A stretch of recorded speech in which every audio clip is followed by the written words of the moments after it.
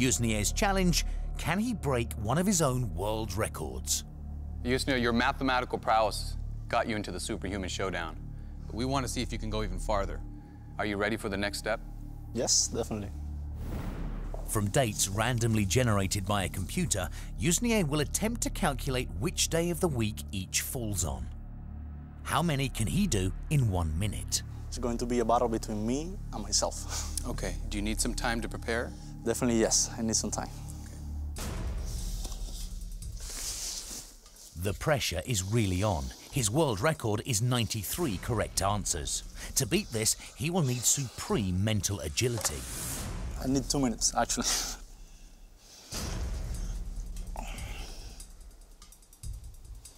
Now, the only thing between Yusnier and a new world record is the speed of his brain.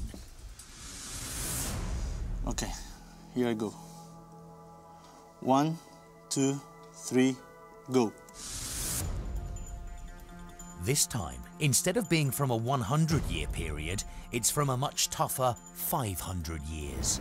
For each of the randomly generated dates on the screen, Yusnier must perform his seven stage calculation and then press the button that corresponds to the correct day of the week. He's doing almost two calculations a second. When you look down at the screen and how fast he is keying in those answers, it's, it's mind-boggling to think he's actually done math before he's actually hitting the key.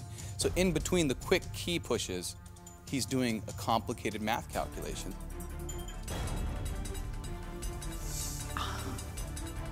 Yes. Well, it looks like he might actually beat his record. Tremendous concentration.